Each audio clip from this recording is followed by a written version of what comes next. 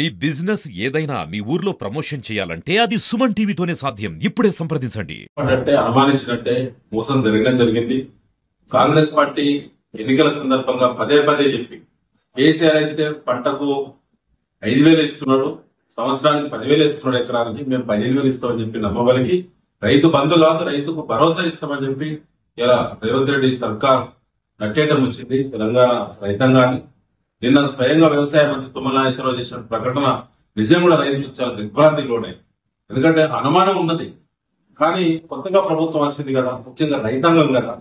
రైతులు లేని తెలంగాణ ఉనికి లేదు కదా.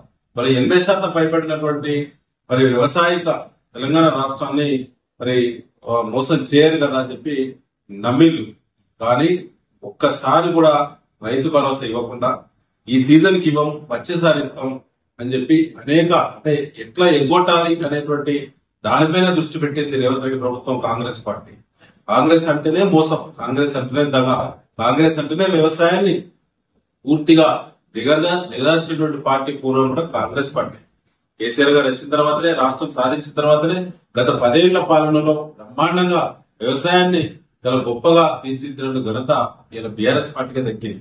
కానీ ఇవాళ రైతు కుదేలేడు రైతు ఇవాళ ఎక్కువ విస్తీర్ణం ఉన్నటువంటి నర్సంపేట ప్రాంతంలో దాదాపు యాభై ఐదు వేల ఎకరాలు విస్తీర్ణం ఉన్నటువంటి పత్తి పంట పూర్తిగా నాశనం అయిపోయింది. వారికి నష్టపరిహారానికి అర్హత ఉన్నది. వ్యవసాయ రిపోర్ట్ ప్రకారంగానే ఇలా రెండు మూడు క్వింటాల కంటే ఎక్కువ దిగుబడి వస్తలేదు. అలాంటి రైతాంగానికి ఇవాళ పత్తి రైతులకు నష్టపరిహారం గురించి మాట్లాడే నాదుడే లేదు.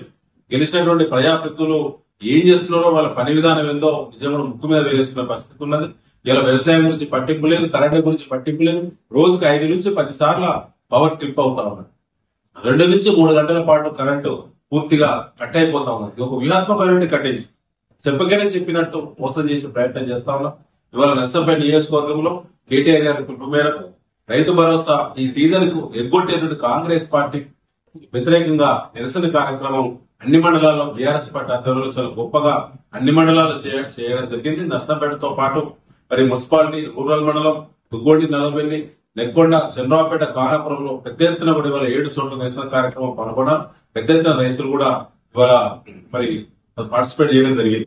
ఇది ప్రారంభం మాత్రమే బిడ్డ కాంగ్రెస్ ప్రజాప్రతినిధులారా మీరు ఎన్ని అఘాయిత్యాలకు పాల్పడి ఎన్ని అబద్దాలు మాట్లాడి ఎన్ని విధ్వంసకరమైనటువంటి రాజనీతి లేనటువంటి మాటలు మాట్లాడి ఇలా ఆరు హామీలు అన్నారు నాలుగు వందల ఇరవై గ్యారంటీలు అన్నారు ఇవాళ ఏది కూడా దిక్కులేనటువంటి పరిస్థితి మీరందరూ కూడా ఒకసారి ఆలోచన చేయండి. రాబోయేటువంటి కొద్ది రోజుల్లో ఆందోళన చాలా తీవ్రతరం అయితే గ్రామాల్లో పల్లెల్లో అడుగుపెట్టలేని పరిస్థితి తీసుకొచ్చుకోవద్దు.